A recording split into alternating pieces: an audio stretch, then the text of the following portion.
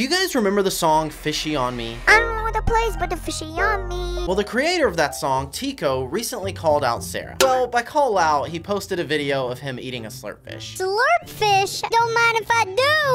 Sarah took that personally. This is war. We need soldiers. He ate my kind. That's my niece. So they ended up having a 50v50 battle, slurps versus fish, and believe it or not, Sarah's team actually won. And I don't even just mean by a small amount. There were still 21 slurps alive at the end of the game. If you guys want to see how it all went down, the link to the full video is in the pinned comment.